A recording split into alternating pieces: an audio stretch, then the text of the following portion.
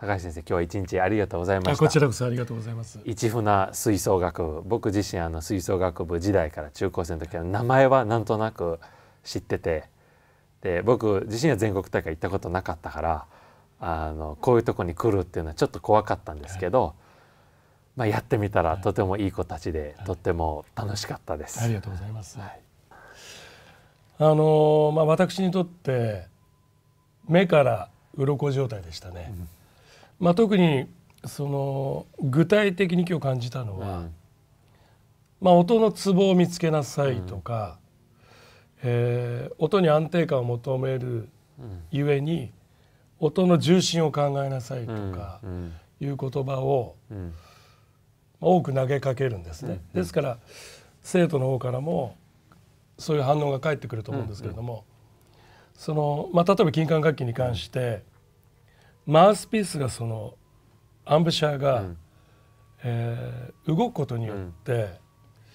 えー、そのアンブシャーに軌道がある、うん、その軌道っていう言葉にまず目から鱗で、うん、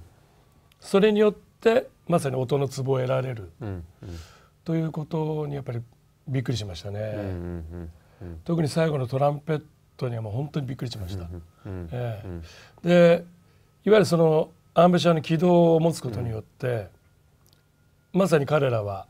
壺を得て、うん、壺を得ることによって倍音が生まれて、うん、倍音が生まれることによってピッチも逆に気,、気にならなくなってくるという。そのそもそも音が持っている自然な、よりナチュラルな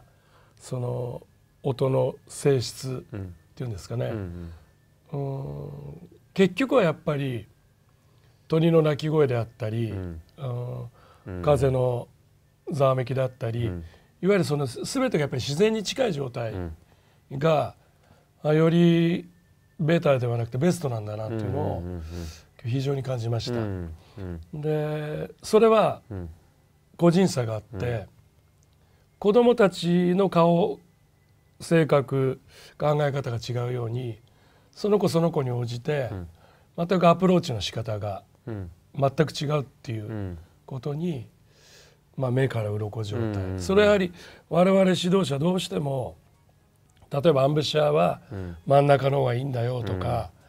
うん、えー、上から下までアンブシャーが動かない状態で、その音のツボを見つけなさいじゃないですけれども。